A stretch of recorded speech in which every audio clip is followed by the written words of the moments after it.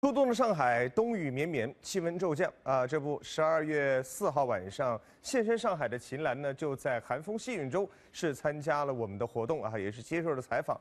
这个经历呢，别提有多难忘了。来听听看。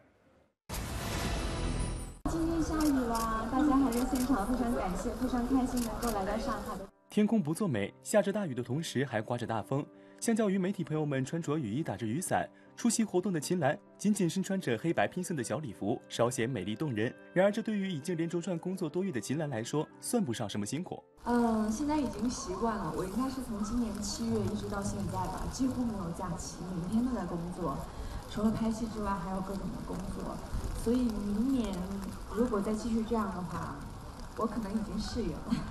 自从七月。秦岚参演的《延禧攻略》播出后，她饰演的富察容音也被观众所喜爱。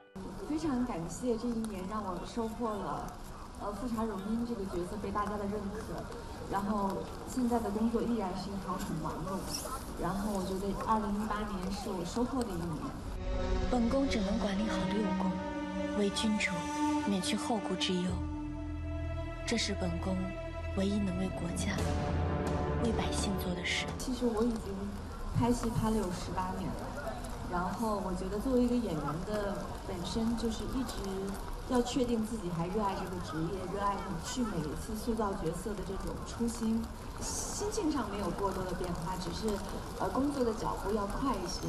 对于从前的我有点懒懒的我，现在就是每天的工作安排的比较满。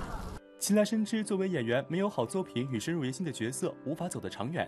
他这拍戏的脚步也是一刻未停，目前就正在和靳东搭档拍摄电视剧《人民的财产》。